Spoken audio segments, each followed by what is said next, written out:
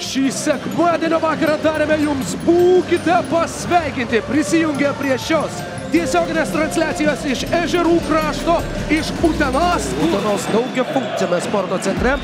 Margerio Normanto ir Evaldo Kairio 2 prieš 2 ir Normantas užbaigė ataką taikliu metimu. Žalgiris prieš. Oi, oi, oi, oi, oi, oi, oi, oi, oi. Alvaras Friedrichsonas pasiruošęs gražinti kamuolį Vilniečiams, čia pat ir klaida. Buvo pasiruošęs. Ir Jonavos Sibet komandoms. Perima kamuolį visos- Poliukėnas. Visos rungtynės buvo labai atkaklios ir panašu. Jų klubo apranga. O juodai, baltai, raudona. Vilnietiškąją. Čia prasiveržimas ir koks. Apro pirmame debiutinėme sezone tavo minėtame Clippers klube.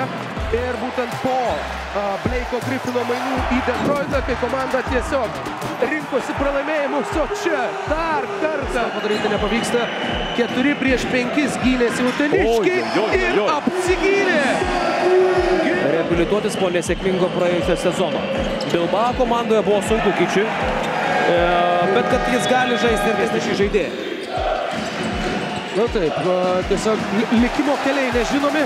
Čia Aleksas Hamiltonas perima kamuolį, atsitveria korpusu nuo Luko Iš Uliasko. septynių Juve savo ruoštų atrodė tikrai e, vidutiniškai, gal net sakyčiau silpnai. E, Dvi pergalės. Pirmoje susitikimo pusėje. Aleksas Hamiltonas Alstonui ir dar kartą. Kamuolys grūdamas. Jis yra nusiteikę kiek stabdyti būtent tempą, tačiau sustabdyti Džiavūno Evans. Kiek nesukontroliuoja kamuolio Islandas, tačiau klaidos išvengti pavyksta. Markusas Fosteris triumfuoja. Šeimininkai turi dar vieną. O čia perma kamuolį Gytis Masiulis ir grūda jį iš viršaus. Tas puolime atkovotas kamuolys. Jau 15 šiose rungtynėse. O paliktas Evaldas Kairys.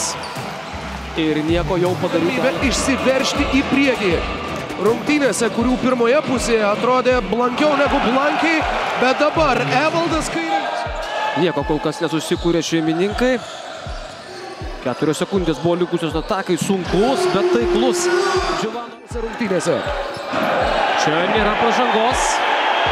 Virto iš kojų Gecevičius, trys taškai, kuriuos pelno Gytis Radzevičius. 10-31. Ir dar vienas puolime atkovotas kamuolys. A, Su neįtikėtina. naujomis pareigomis, su kapitono statusu šiandien debituoja uh, labai galingai. O čia trys taškai palaikantis Gytis. Ar čia Čia- klaidos Vilniečiai ir peržengė tą klaidos ribą? Čia ir ties nesportinės pražangos ribą rizikavo sužaisti rytas, bet atsistoja kai kurie Juvės gerbėjai. Sederevičius gali atakuoti Friedrichsoną, turi ūgio persvarą, niekas neteina į pagalbą Islandui. Du taškai rezultatas. Toks debutas turbūt dabar jau nelabai kam bus įdomus net jam pačiam, nes komanda turėjusi puikią progą šiandien e, pateikti sensaciją, staigmeną.